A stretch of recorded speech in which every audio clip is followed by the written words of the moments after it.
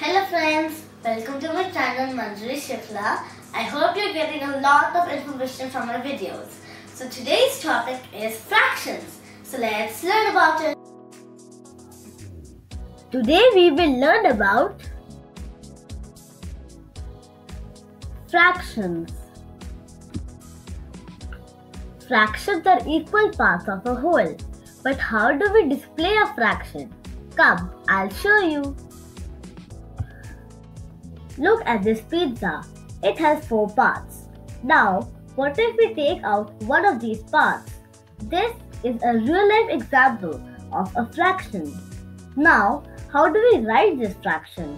First, we count the, all the total parts of the pizza and we write it. Next, we count the numbers we have taken away and write it on top of the below number.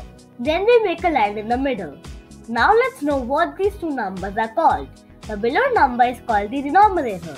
A denominator tells us how many total parts is the object divided into. The number on the top is known as the numerator. A numerator tells us how many parts have been taken away. When we combine the numerator and the denominator, a fraction is formed. This fraction is called as 1 by 4 or we can call it as 1 fourth. Let's head for another example.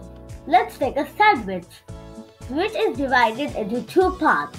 This sandwich will be called as 1 by 2.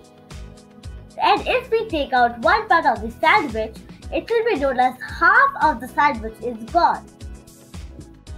This is another example. Let's count all the total pieces which are 4 and the shaded pieces are 2. The fraction would be 4 will come as the denominator because it tells how many total pieces are there and 2 will come as the numerator resembling the shaded parts.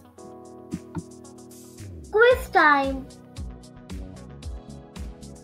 Tell the fraction for this diagram. You'll get 5 seconds. Here's the answer 3 by 4. Next question. The answer is 2 by 8. Do this one now. The answer is 3 by 4. Here comes the last question.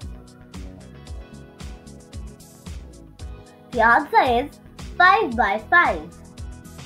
Friends, this was the end of today's video, but my fraction series will be continued. I will share about the types of fractions. So, remember to hit the like button and subscribe to my channel.